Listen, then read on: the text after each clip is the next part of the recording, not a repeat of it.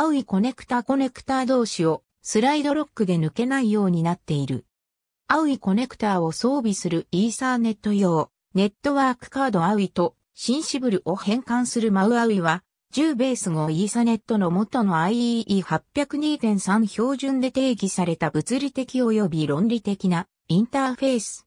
物理インターフェースは、10ベース5イーサネットのトランシーバーとコンピュータもしくは、イーサネットハブ間のパスを提供する DA-15 接続で構成される。アウイケーブルの長さは最大50メートル。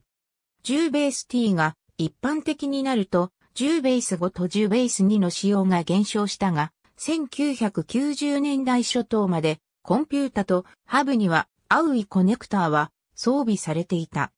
100メガビットイーサネットの導入により、アウイコネクターは廃止され、8P8C に置き換えられていった。アウイコネクターは DA-15。